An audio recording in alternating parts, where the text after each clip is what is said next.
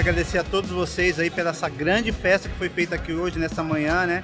Onde nós tivemos nosso primeiro treino aberto, onde o torcedor pôde comparecer e conhecer um pouquinho é, dos atletas que irão representar é, o Paysandu nessa temporada de 2023 e tiveram também a oportunidade de conhecer né, o uniforme novo de treino, hoje representando aqui a camisa que lembra o Boca Juniors, mas será homenageado também durante aí a temporada com as camisas que homenageia Cerro Portem, Esporte Cristal e todos os, os adversários que nós é, enfrentamos na Libertadores da América. Então, parabenizar a presença maciça do torcedor aqui hoje nessa manhã.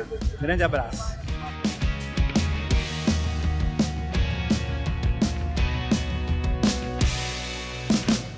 Sou sócia já há algum tempo, me inscrevi e quando eu vi que eu fui sorteada, eu disse, gente, eu estarei mais próxima ainda agora do clube, né? Então deu para matar a saudade, mas ainda não totalmente. E poder estar tá vendo de pertinho os jogadores, tá passando a nossa energia, a nossa emoção para o início de temporada, desejando tudo de bom, que a gente possa conquistar os nossos objetivos. É muito gratificante fazer parte disso tudo. Lotou, foi uma festa muito bonita e essa é a energia que a gente quer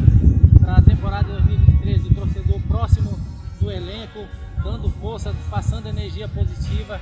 A gente fica muito feliz por essa homenagem porque é uma lembrança que está muito viva ainda, não só na memória do torcedor, mas de todos nós jogadores que fizemos parte daquela campanha.